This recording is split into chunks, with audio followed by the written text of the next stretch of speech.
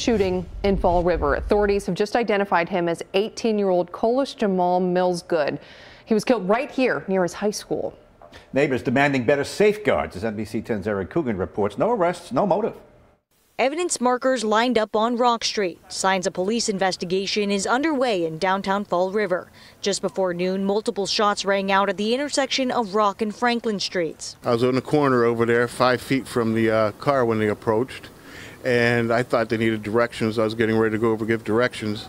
That's when the shooters got out and started shooting. The victim, an 18 year old boy who attends the James Medeiros Resiliency Preparatory Academy. It's an alternative school for middle and high school students. Witnesses say the victim was about two blocks from the school when three other boys pulled up in a dark colored car with tinted windows. I ducked around the corner here.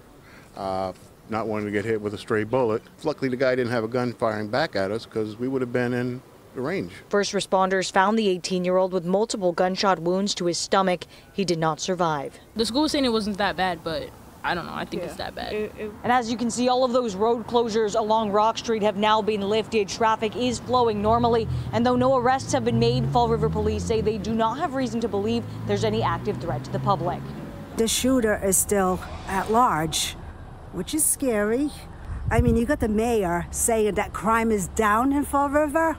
No, it's up. Fall River Mayor Paul Coogan says there's too many guns in the wrong hands. You have all these guns being sold all over the city, all over the parks, all over the state.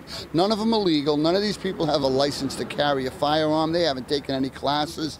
They just take it to uh, wreak havoc in in uh, in our city and in uh, all across Massachusetts and the United States. The origin of the gun in this homicide is still unknown. In Fall River, Aaron Coogan, NBC 10 News.